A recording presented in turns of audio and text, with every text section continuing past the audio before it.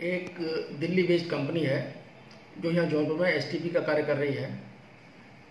इसके जो project manager है, उसने सूचना दी कि कल कुछ गुंडे उसको गाड़ी में डालकर उठा करके ले गए और धनंजय सिंह के घर पे लेके गए।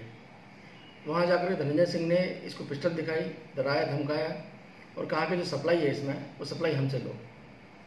उसने यही बताया कि धनंजय सिंह ने उसके जो मालिक है, उसको भी फ़ोन किया, उसको भी वहाँ धमकाया और उसके पश्चात एक जेई है जल निगम के उसको भी वहाँ बुलाया और उसको भी सप्लाई में, मदद करने के लिए कहा गया।